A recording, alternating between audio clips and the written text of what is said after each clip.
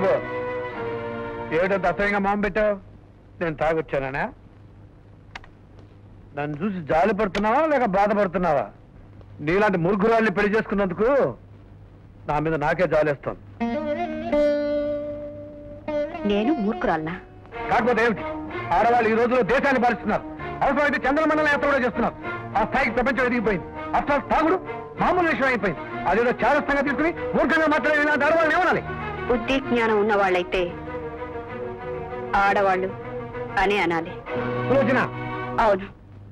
ఆడది చంద్రమండలానికి వెళ్ళినా ఒక బిడ్డకు తల్లి ఒక మగాడికి పెళ్ళం. ఆడది దేశాన్ని పరిపాలించినా మొదట ఆడదే చివరికి ఆడదే.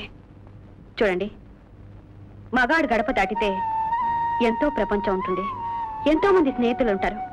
ఎన్నో కార్యక్రమాలుంటాయి. కానీ మా ఆడవాళ్ళు బ్రతికేమిటో తెలుసా? పంటలే మా క్లబ్బులు మా కార్యక్రమాలు. మాటల గారడి నీకు బాగా వచ్చని నాకు తెలుసు. ఇది గారడి కాదండి నిజం. ఇల్లాలకుండే ఒకే ఒక స్నేహితుడు భర్త. మీరు గడప దాటి బయటికి వెళ్ళిన తర్వాత సాయంత్రం వరకు ఎదురు చూసేది మీకోసమే. మీరే మా ప్రపంచం.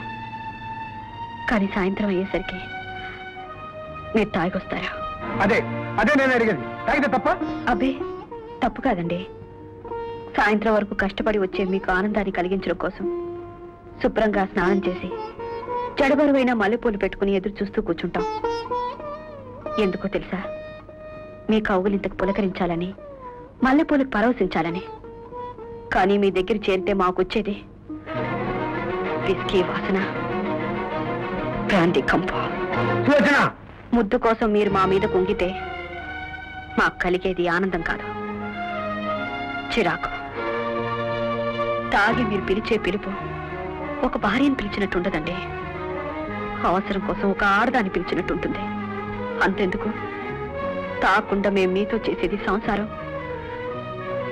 తాగి మీరు మాతో చేసేది వ్యభచారం!